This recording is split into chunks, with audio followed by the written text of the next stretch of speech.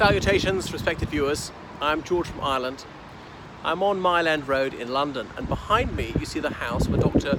Thomas Barnardo lived in the late 1870s. So, Thomas Barnardo was born in Dublin and he was uh, brought up in a Jewish family and he converted to Christianity. I think it was just him, I don't think it was the whole family, to the Protestant denomination, and he qualified as a physician. And uh, so he spent some time working in Ireland, came here to London, working here in the East End, which was a fairly poverty-stricken area at the time, and uh, a lot of um, refugees and immigrants from Eastern Europe, from often the Russian Empire, eastern part of Poland, Latvia, Lithuania, settled here. Some of them ethnically Latvian, Lithuanian, Polish, and so on. Many of them Jewish. Some Irish people transmigrated here, and so on. So, because it was near the docks as well, some um, Indian sailors, and it was over overcrowded. We're quite close to Whitechapel, where the Jack the Ripper murders were to take place in 1888. Anyway, um, Barnardo was uh, horrified by the pauperism that afflicted many people uh, in this district. So he set up his own charity. He was particularly um, exercised about the fate of neglected children if their parents were alcoholic. He said that if a mother, sorry, if a father was alcoholic, it was bad enough.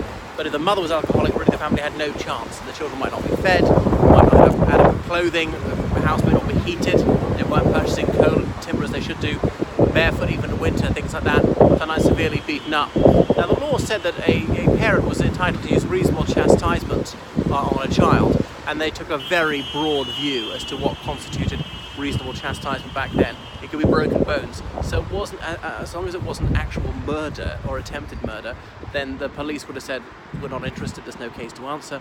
A mother or indeed a father uh, is entitled to punish his or her children as they say fit, so long it doesn't, doesn't result in death. And Barnardo was aghast at this. Um, there was a lot of prostitution going on at the time, and it's until the 1880s um, the legal age of marriage was 13 and the age of sexual consent was 13 um, till that journalist, I think it was W.T. Stead, purchased a girl for five pounds. Really, five pounds would be more like a thousand these days. Purchased her from her mother on the understanding that she would be um, used in a brothel. Although there is some doubt as to the mother was really aware of what was going on there. But yeah, the so-called white slave trade, they used to say, as in um, forced prostitution. Now, was a rather racist assumption underlying that, as though enslaving a white was worse than enslaving a non-white person, which of course it isn't.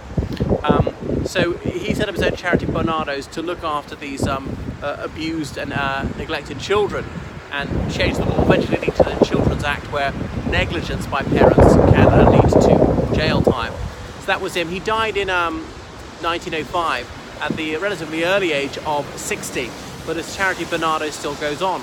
He was a member of the Orange Order, which is a charitable foundation, and Orangemen and indeed Orange women, they donate to benevolent causes.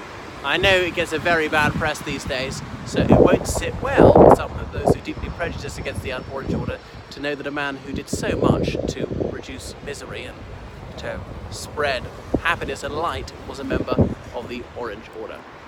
That's all from me.